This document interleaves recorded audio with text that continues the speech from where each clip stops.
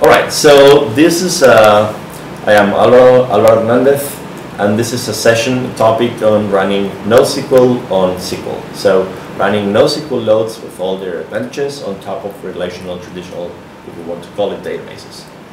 Um, we've seen the uh, basically most important NoSQL selling points uh, captured from all the input from all the participants in this topic, this session, which are the NoSQL databases. So for you, schema-less with elastic schema uh, and uh, allowing to you to uh, store semi or non-structured data in the database, which are well suited for big data, uh, which uh, maybe or may not be cheap if you take into account the whole TCO concept um, for DBAs, that they scale well, they have an API, more uh, one-to-one -one mapping to the object-oriented world, and that they are supposed to be fast. We're now analyzing the uh, which of the ACID characteristics from relational databases are um, offered by, in general terms, by NoSQL solutions. And the atomicity is basically not really offered. I mean, there are no transactions. Because the documents or the key values are atomic on its own, which means that your data is not going to get corrupted in the first place, because your document is not going to be partially written to disk. That well, yeah, no, okay. There's some atomicity there, but very, very relative. Consistency, uh, they used to talk about consistency in, in, in a different way, which is the, the way uh, the, um, designed in the, in the CAP theorem or the Brewer's theorem about, uh, uh, you know what the CAP theorem is. Okay, mm -hmm. so this is a different thing.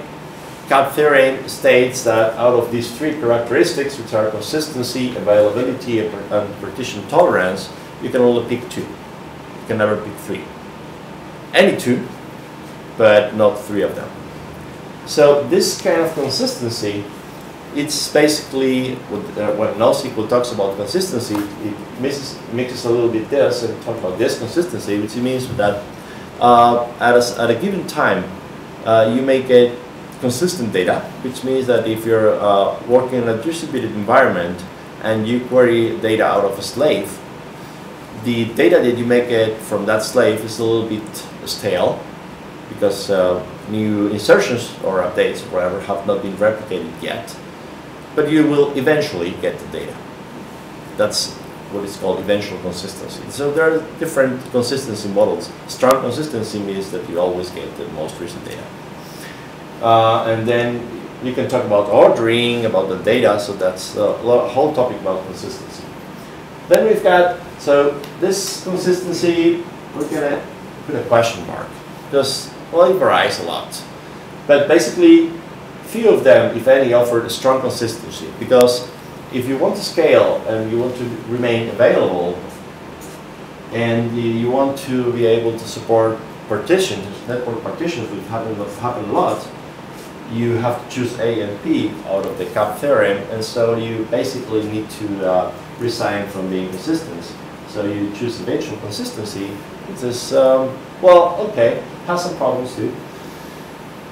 Isolation, they usually don't offer any isolation. So, uh, for example, in Mongo, if you're doing a query, uh, large query, which returns a lot of documents, and Mongo uh, does not ret uh, returns all the results at once, so you get like a cursor, and you then ask for the next results. It may happen to you that while asking for next results, you may see new documents that were not part of the original query. Like for example, if you uh, do a query and then concurrently you delete one document that you have already read and store it again into the database, you may get it again. So you'll see the same document twice.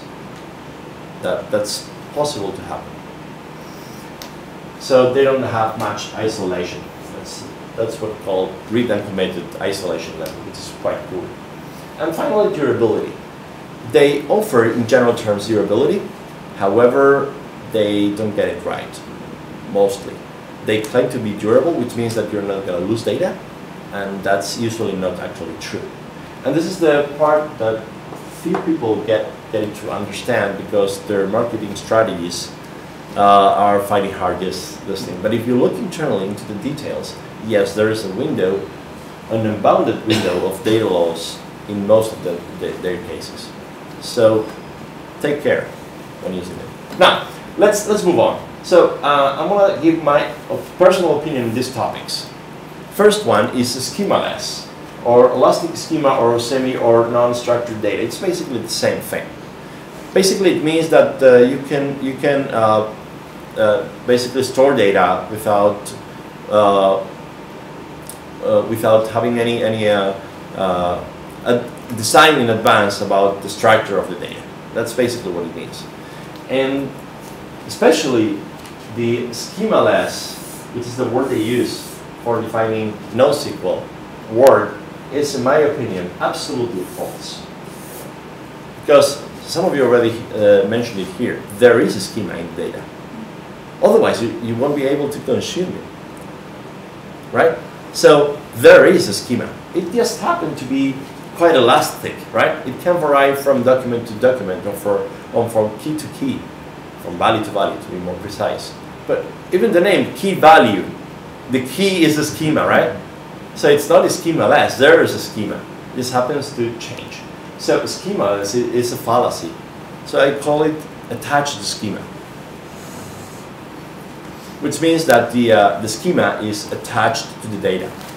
And if, if you think about it, and that's one of the points of what we're doing right now, if the schema happened for whatever reason to be frequently repeated because, well, after all, you need to consume the data, right? So if the data uh, is of a certain type, because you want to consume it later on, then you uh, are repeating all the time the schema. So you're wasting I.O., network, uh, you're wasting uh, storage, because you're consistently all time or most of the time repeating most of the same schemas. And this is one of the topics I want to touch. The big data. This is only marketing. Indeed, some NoSQL databases are pretty bad for big data. Usually, big data means uh, the what it's called the three V's, which is uh, velocity, variety, and uh, variance of data.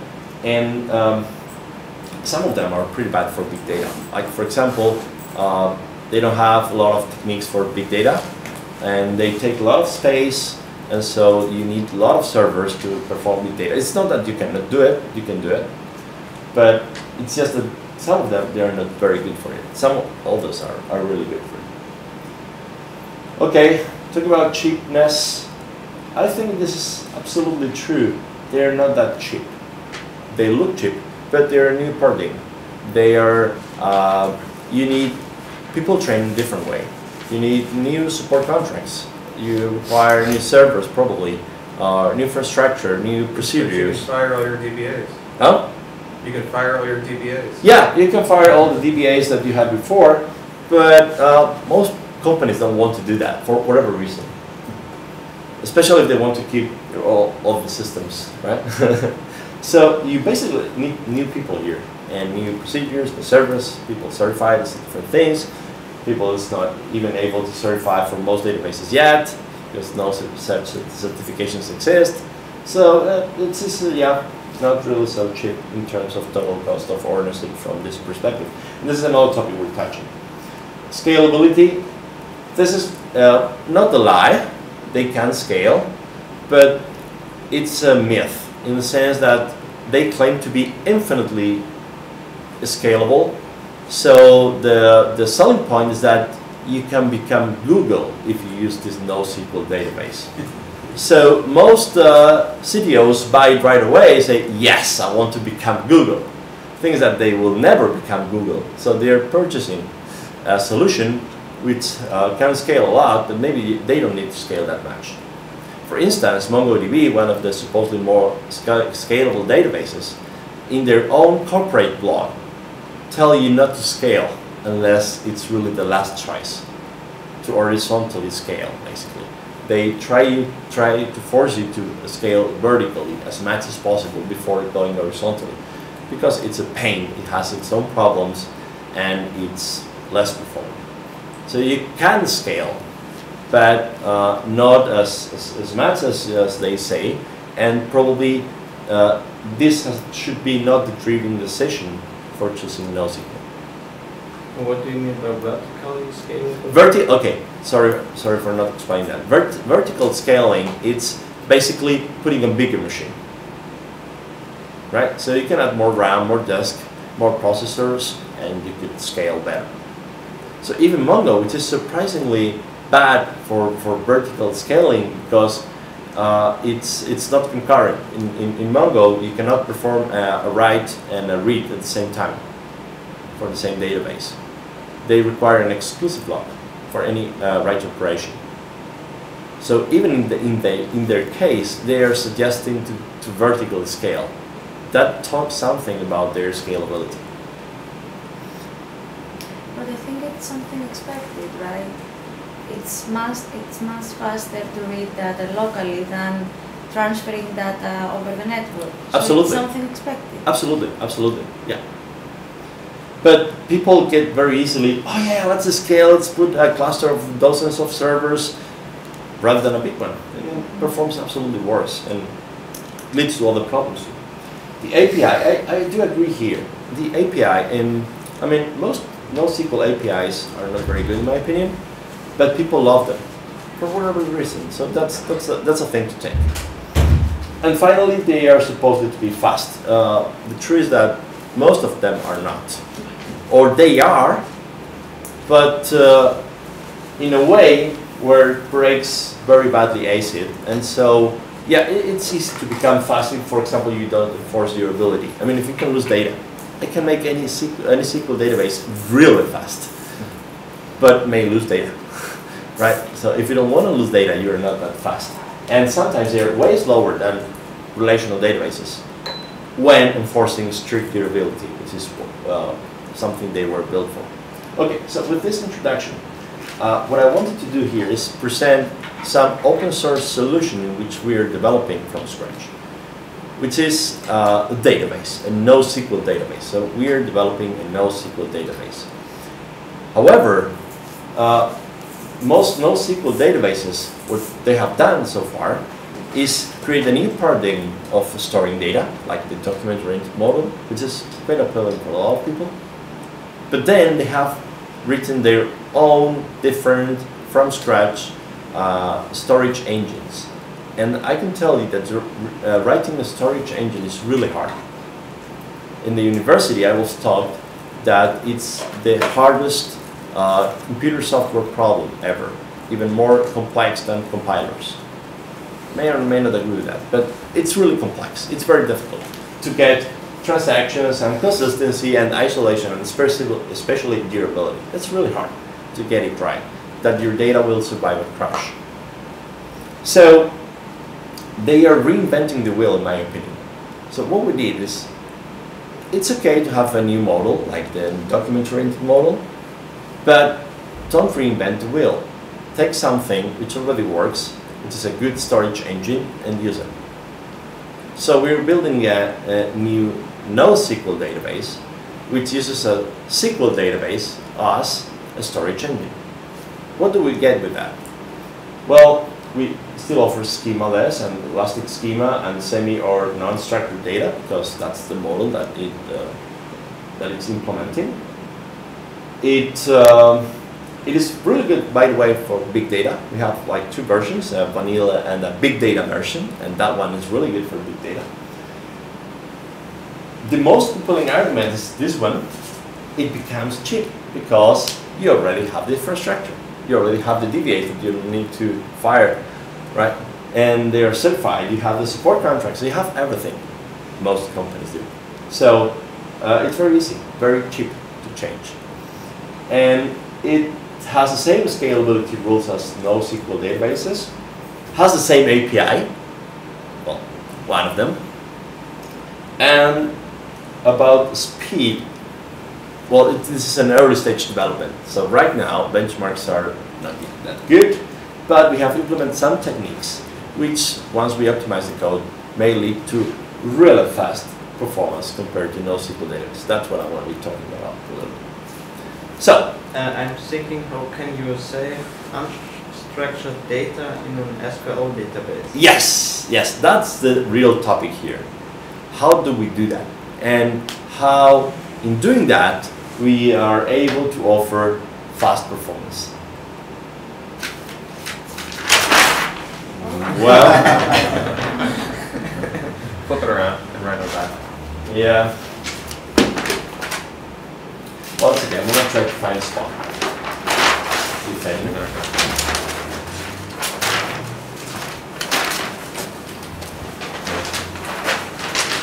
Open this up and we'll flip it.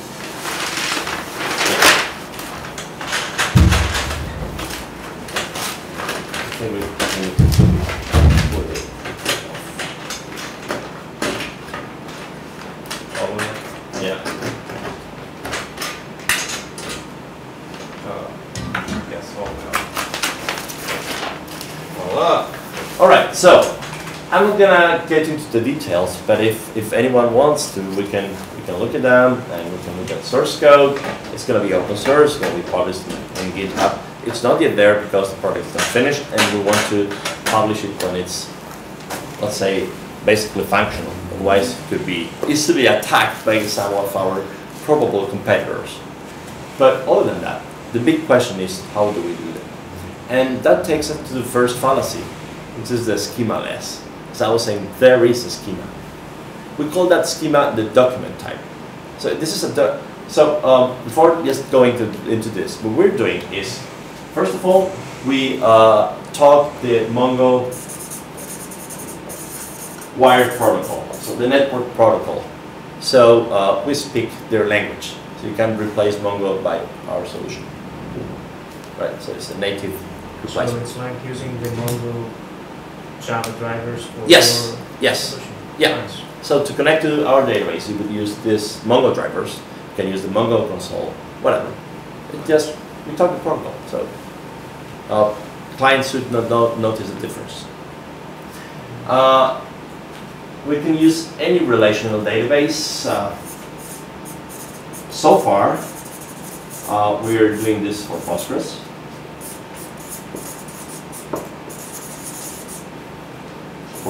PostgreSQL, which in my opinion is probably the best uh, relational database out there. But uh, all the databases like Oracle or and SQL Server are, of course, in our roadmap. And uh, it does something which is what we call transparent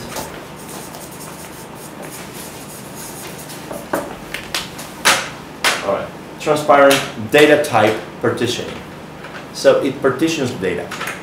Partitions in, in database ter- terminology basically means that uh, you take your whole set of data and you partition it into smaller subsets by some criteria. And then when you need to query uh, data which is constrained within one of those partitions, you need to scan the whole database, right? So you scan only that partition.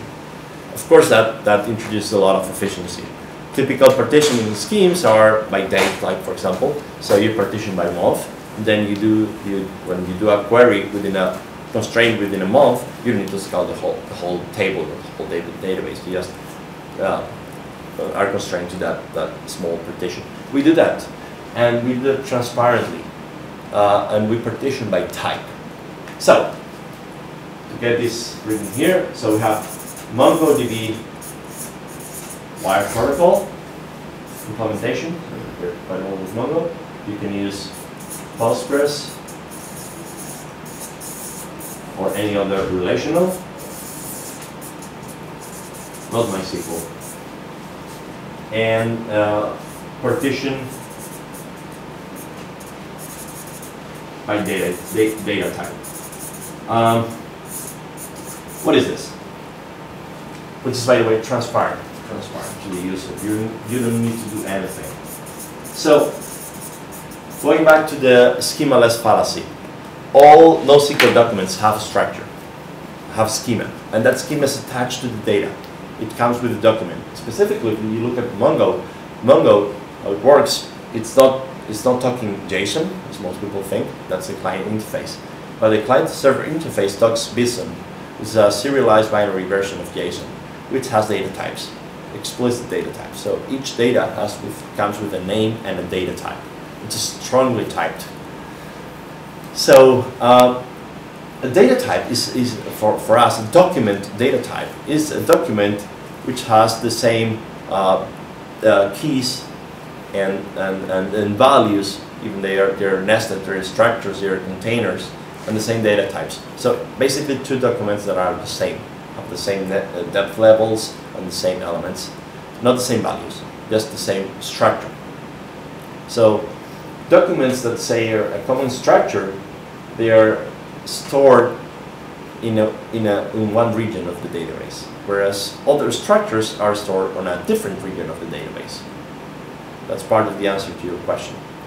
But this leads to high efficiency, efficiency because if you are doing a query, for example, on a field, let's say that there's a database about this conference, and we have people in the database, and people have age. Certainly not everybody wants to say what their age is, so this field may be filled in or not filled in.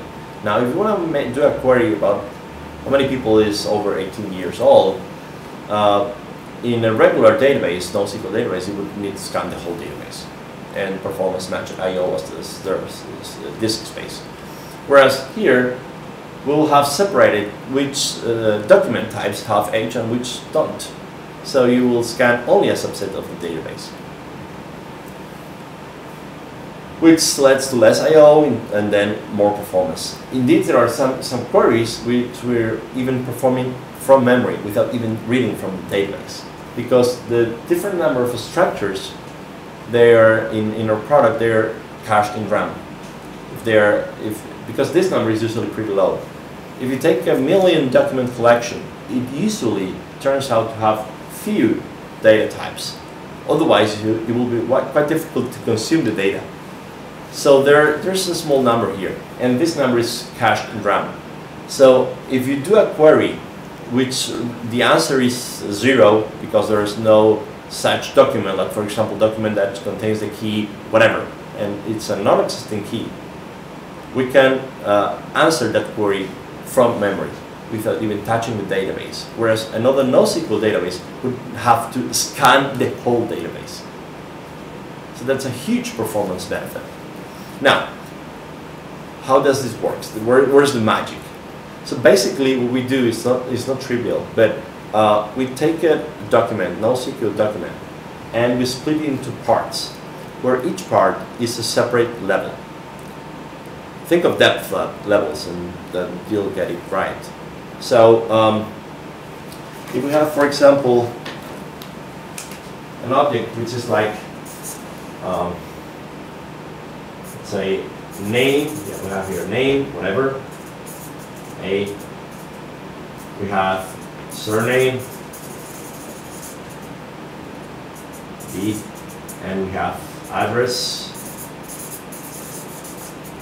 And this is a nested object where we have the street name, whatever, and the zip code. Make it simple. So this document has two levels. So what we would do is, first of all, analyze the, the data type. So this is a data type that has a name, a surname, an address, an address which is a compound object. This object contains a street and zip. That's the structure. So first of all, we will store the structure, right? Which, five minutes? Which basically looks like something like this. T1 and then uh, address T2. Something like this. So there's this is a structure. So we stored this structure as a separate piece of information. It can be reused by so many, many documents. Basically says that there's one level here, and then the field address is a nested level, and that goes to a single place. And then this information, which belongs to the first level, is stored on a one table and this information is stored on a different table. That's basically it. So, um, well, there's uh, structures, there's tables for data, there's tables for the document itself to tell which structure is the document, given document using, and uh, where's the data from that document. And the thing is that these tables, if, if you look at, at these tables, so think right now about a table with a column called name and a column called surname, where this is a string and this is an integer or whatever.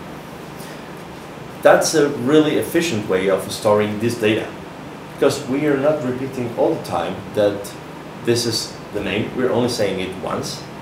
We're only saying it once that this is a surname, and we're only saying it once that this is a string and integer or whatever. So this is a quite efficient way of, of storing data. Indeed, we, uh, we're achieving really high efficiency on, on storing things, on storing data sets compared to Mongo, for example. And here I can give you some numbers um, that we've been uh, doing recently some benchmarking. And uh, I'll show it to you. Uh, sorry, I don't have a slide here, so um, it's going to be more or less of just uh, telling you the numbers. But uh, basically, in, in general terms, we are achieving compared to, so comparing to Mongo, for example, uh, the, uh, if you take the raw data and store some, some raw data in, into Mongo, it usually multiplies the space required, the disk space required for that information by a factor of one point something to two.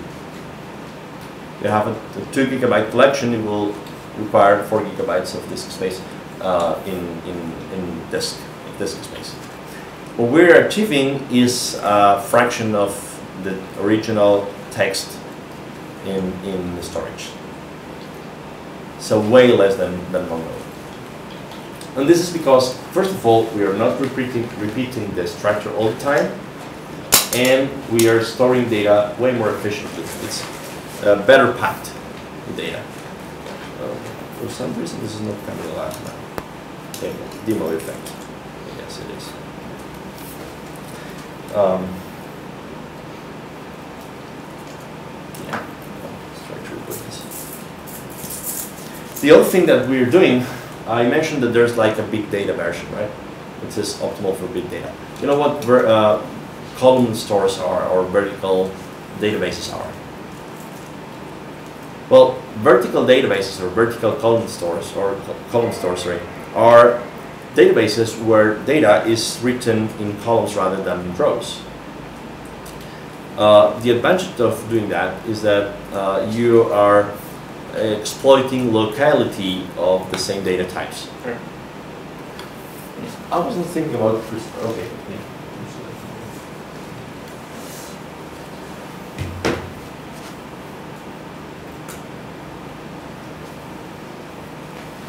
Awesome. So.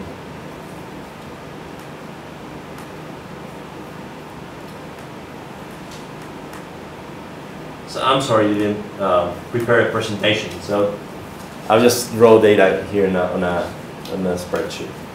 You need something to Just, do. just go ahead and I'll get out. All right. So um, what I have here is uh, I did first a test on the delicious. Uh, sorry, sorry. Let's get back to the big data to the column store. So you store things in in columns rather than in rows. So if you think of a record, it has name, surname, and age, right? String, string, integer. In, in rows, row-oriented uh, data stores, they store it like um, horizontally. So you have uh, the string, the string, and then the integer, and then the next record. If you think about column stores, they store it vertically. So you have the all the strings together, all the names together, all the surnames together, and then all the uh, age, the in, in fields together. When you're doing big data, that's usually about aggregation. So computing the average or the sum or the standard deviation, whatever, of the age. So when you do that across all the fields, and you're you're not using all the columns, right, for that operation, just you probably get the, the not even the name because aggregation is just only for the age field. It goes directly in vertical way, so it's way more efficient. Plus, you can uh, also um, do compression, transparent compression, because data look like very similar if, if, if written vertically, right? You have all the age fields together, you have all the names fields together. They are way more compressible than using like uh, horizontally, where you have the string, uh, sorry, you have string and an integer and a date stamp, a timestamp, whatever, and that's more difficult to compress. So that's what basically columnar, sto- columnar stores do. So, talking about numbers, to give you an idea of how this works. For example, um, storing the delicious, delicious uh, data set, which is a public data set, bookmarks, the plain text version required uh, 1.2 gigabytes of disk space. Mongo required uh, 2.08 gigabytes for storing the same data. So 1.2 to, uh, to, uh, to, to 2 gigabytes. Uh, we did uh, okay with uh, 1.4, just slightly more than the textual representation. And the big data version with compression enabled did 0.4. So we're basically doing, compared to Mongo, uh, from 20 to 67% of the sta- storage required. It's, all right, which basically means huge storage savings, which means way less I/O, which means way faster queries. First of all, because you're querying the structure and effectively partitioning the data, and then you are reading less data. Because we have to finish, I'm going to read uh, some of the numbers faster.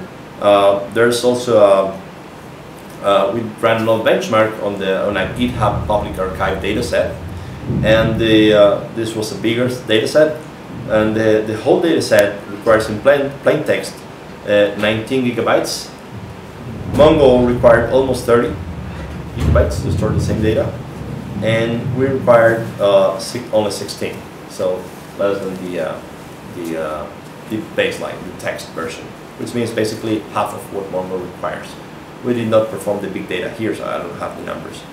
And running a, a synthetic, very bad benchmark. So these numbers are ver- very bad because uh, uh, it, it generates documents where the text is mo- most of the time a lorem ipsum variation. But anyway, what was the test well, that we want to perform? And for this case, the, the plain text required 2.5 gigabytes. Mongo required um, 4.6 gigabytes to store the same data. Our version required 1.3, which is almost 50% of the plain text version. And the big data version required 0.05.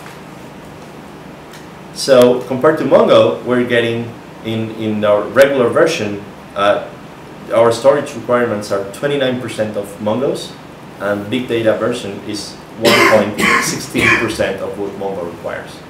So two orders of magnitude less. Yesterday, yes, I'm just finishing. And yesterday, uh, Ian uh, handed to me a small data set uh, of, of his own to try it.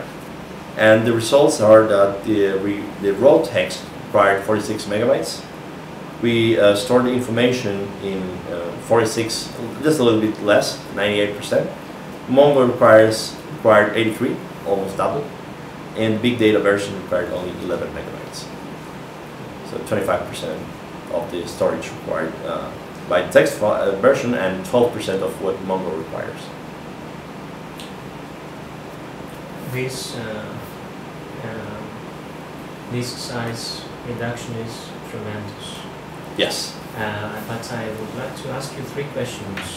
Um, first of all, is when you have um, documents uh, of the same time, for example, a person class, Yeah. with, uh, in which some um, some fields, uh, I'm thinking of MongoDB, Yeah. are uh, omitted are Yes. missing. Yeah. We, uh, your database stores them as a different data type. So Yes. we have many partitions and it's like more fragmented.